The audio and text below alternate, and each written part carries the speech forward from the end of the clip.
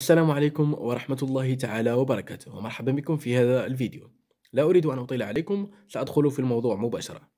اليوم إن شاء الله سأعطيكم ثلاث نصائح لتعلم اللغة الإنجليزية. أول نصيحة وهي الاستماع. حاول أن تستمع إلى اللغة الإنجليزية بقدر المستطاع. فبدون الاستماع لن تستطيع استيعاب ما يقوله المتحدث لأن الكثير من الناس يستطيعون فهم آه، الكلمات أو المقالات المكتوبة لكن عندما يأتي أحد ويتحدث معهم لا يستطيعون استيعابه, استيعابه أو فهمه لأنهم يقولون أنه يتحدث بسرعة وهكذا. الأمر أو المشكل هو في الاستماع فإذا استمعت أكثر كلما تطورت عندك مهارة الاستماع واستطعت أو أصبحت قادرا على فهم الأجانب أو المتحدثين الأصليين باللغة الإنجليزية.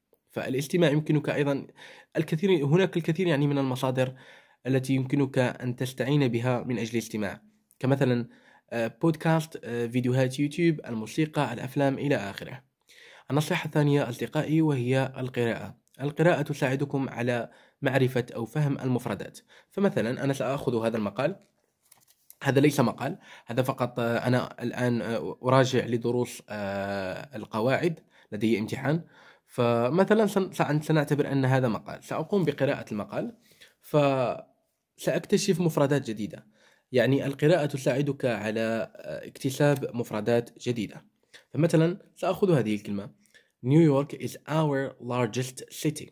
So نيويورك هي مدينة uh, هي مدينتنا الكبيرة. So largest city سأستطيع أن أفهم أن largest city هي المدينة الكبيرة وها أنا قد استفدت معلومة أو مفردة أستطيع أن أستخدمها في المحادثات.